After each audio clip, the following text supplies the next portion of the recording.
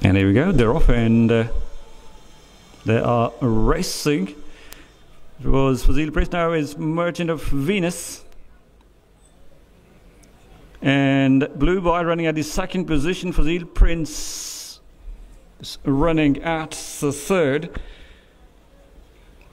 So now they're approaching three furlong marker. Blue Boy is going along very nicely as they are turning the corner now, just two and a half furlongs to sprint, and the pacemaker is Blue Boy.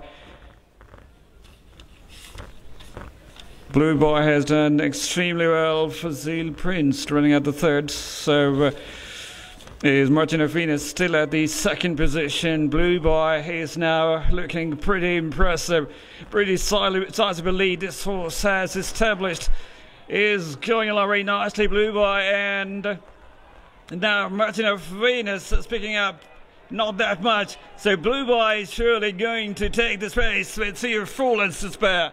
What a win for Blue Boy.